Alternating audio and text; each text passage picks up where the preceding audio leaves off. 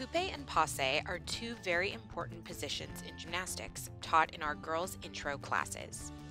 Coaches look out for common alignment mistakes, including sickled feet or winged feet.